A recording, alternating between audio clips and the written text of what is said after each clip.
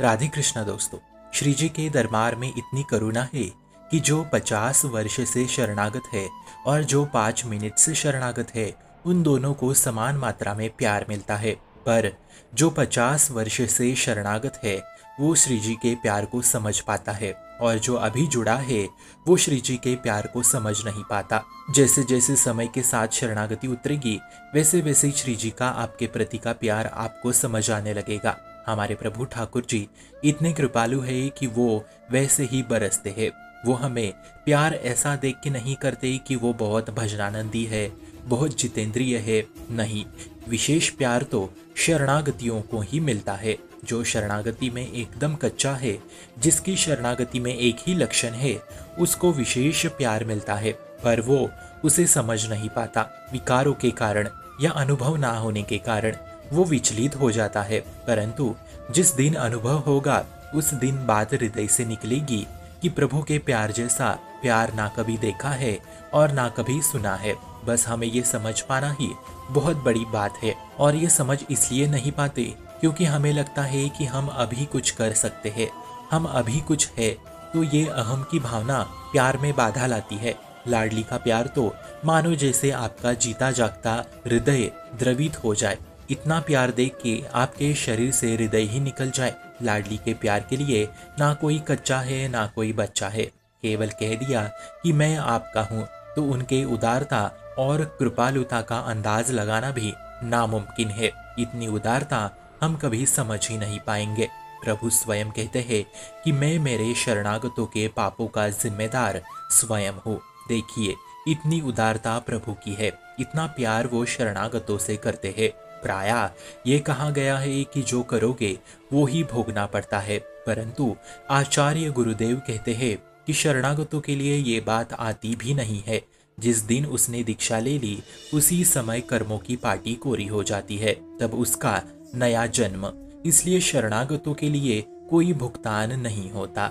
ऐसा आचार्य गुरुदेव कह रहे हैं। तो अपने लोग उन्हीं का उच्छिष्ट पाते हैं, जहाँ श्री विग्रह और नाम रूप के स्वरूप में सेवा विराजित है। वही से हमें उच्छिष्टता प्राप्त होती है।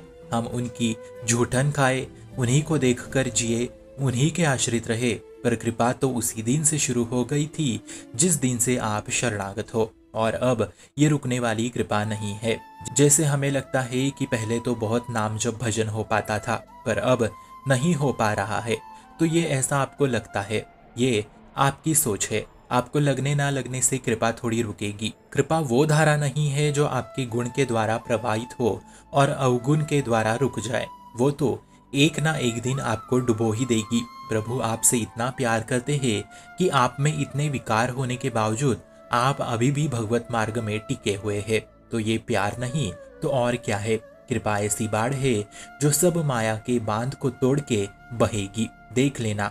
माया, विकार, अज्ञानता, ये सब बाँध टूट जाएँगे। जैसे पारसमणि सोने को लोहा बनाती है, ठीक वैसे ही श्री जी की शरणागति श्री जी के सानिध्य को प्रदान करा देती है। किशोरी मात मानम कमिश कुमारी नुकुले, अर्थात केवल किशोरी शरणागति के कृपा से ही हमें किशोरी का सानिध्य प्राप्त होता है। कृपा का परिचय पाना थोड़ा कठिन होता है अहंकार की वजह से, परंतु अगर आप ये समझ जाए कि मुझ नीच और अधम को ऐसा प्यार मिला, फिर चाहे आप जहाँ हो, जैसा हो, उसके हृदय में श्री जी के प्यार की उबाल आ जाती है। इसलिए कृपा का परिचय प्राप्त करने के लिए और श्री जी के प्यार को समझने के लिए अहंकार रहित होना ही पड़ेगा।